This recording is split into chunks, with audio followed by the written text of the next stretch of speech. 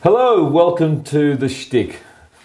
Well, now that the racing season peak is over, we're ready for another race. There's a political race going on in the state of Victoria, and uh, there's Labor, Liberal, Greens, whoever you are inclined to vote for.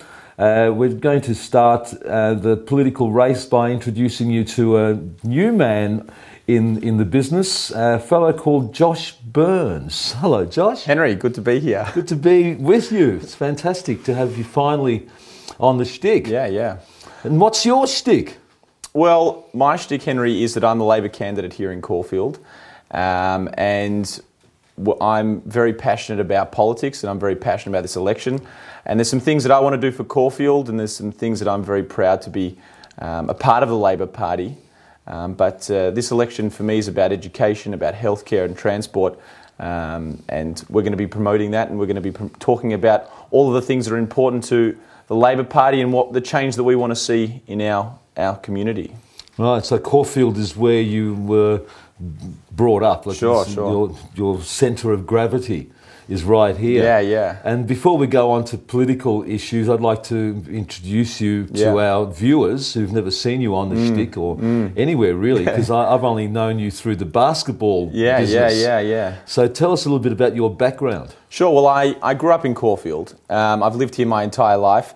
And um, I went to Gardenvale Primary School, which was just outside of Caulfield, and then went to Mount Scopus, um, and finished up at, at Monash University and the entire time I played basketball for Maccabi. I think I'm in my 21st year playing basketball for Maccabi. Um, you I started at the age of seven. I was a, I was not quite as big as I am now, but uh, yeah, I love it. It's it's it's a real outlet. It's a, it's something I just uh, hopefully won't ever have to stop playing. Yeah, my body says slow down, but I love playing basketball for Maccabi. So I've done that and. Um, yeah, but but the, my my sort of background and the, my interest in how I got into politics really started with my grandparents.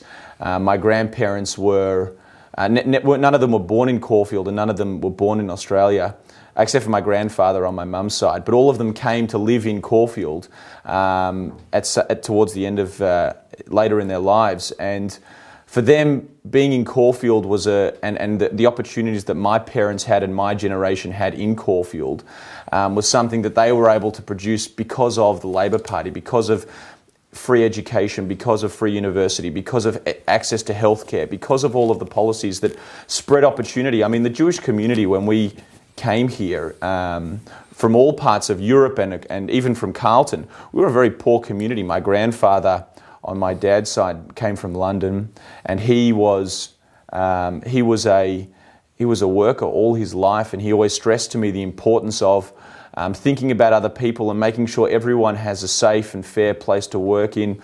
Um, and he really stressed in me the importance of a labour value. He was a labour man in England, he was a labour man in Israel. Um, and he was later on a Labor guy in, in, Australia, and he, he never got to hear that I was a candidate for the Labor Party, but I'm sure he'd be. He apparently happy. passed away on election day last year. He did, he did. My, my Zeta Jerry passed away um, in the afternoon of the federal election. I was. So working. he never knew the results. He never knew the results. He would have turned in his grave if he knew Tony Abbott's no, the Prime Minister. Uh, he, he wasn't happy about it, I can assure you. But he knew I was working on Michael Danby's campaign, um, and Michael um, came to his, uh, his funeral um, which was very nice of him. And it was a big day. I mean, elections and democracy is hard work. People don't often, you know, once you're once you're in an election, once you're in a campaign, you, you really feel it. It's it's it's exhausting. It's exhilarating. It's a whole range of things, but. Mm. But democracy is hard work, but it's worth it. And uh, my grandfather unfortunately never got to see me as a Labor candidate, but I'm sure he would. Uh, he'd be very happy that I'm, I'm flying the flag and, and running a strong Labor campaign in Caulfield. And on your mother's side, you're related to the Cohens. I am Dr. Herschel Cohen. He's a, a well-known doctor here in Caulfield. I'm mm-hmm. sure many people um, who watch the yeah, I drive will... past the clinic, the Cohen Family yeah, yeah. Medical Centre. i grew up. Uh, I grew up in, basically in the Cohen house in in Glen Eira Road. It's a it's great memories being with my grandmother Gerda and Herschel. Um, they imparted a lot, and they, they really stressed in me the importance of education. Uh, my mum's one of six kids, and there's three lawyers, a doctor, um, an architect. My mum's got an economics degree. It's you know they're very focused, very um, very, uh, very academic family. Um, so, And you have an uh, arts degree in politics and history? I do. I, I studied politics at Monash University. Um, I studied international politics and, and Middle Eastern politics as well.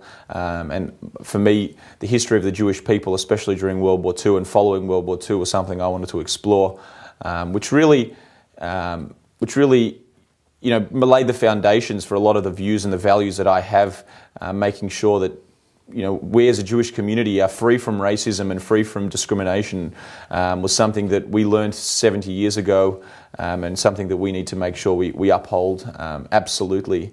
And we, we had a real battle on that this year in, in 18C. Um, we had the federal Liberals wanting to remove or repeal 18C, mm-hmm. Um, and the Labor Party, led by Mark Dreyfus and a whole range of people, stood up strong, as well as the Jewish community. I, I was walking around Canberra seeing you know, the, the Jewish community le- leadership lobbying and saying, you know, we, we, don't want this, it's not good for our community. And the Jewish community should be very proud of the year that they had in fighting against the changes um, of 18C. And Michael Danby, uh, who's a member for Melbourne Ports federally, yeah. He, he's uh, also, he was very much uh, in the vanguard fighting against 18C, and your background is with that's where you started your political career. Yeah, that's right. Well, my, absolutely. Michael was um, he was talking about it. He saw the signs.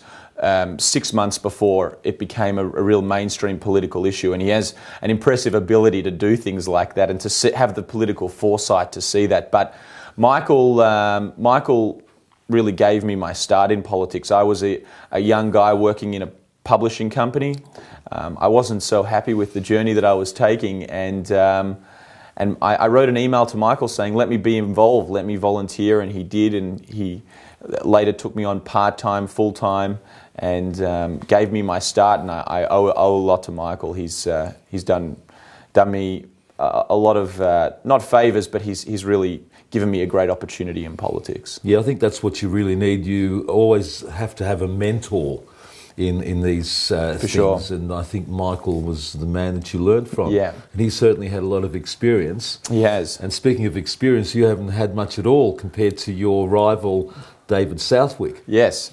Who was the DJ at my bar mitzvah? he was. yeah, he was. Yeah, and, we often joke about it. David Michael ran against, or David ran against Michael Danby in the federal election before yeah, twice, he came into twice it. Twice, he did. Twice. Yeah. Yeah. Well, we filmed the debate. Uh, and we might even get you and uh, David to have a debate sure. before the elections. Happy to. He's coming on as a guest next week, but we're right. going out now uh, to the next segment where I'll be speaking to you about the politics of your your um, attempt, your running to become uh, the member for Caulfield. Hopefully. Yes. Okay. no well, problem. See you after the break with more of Josh Burns.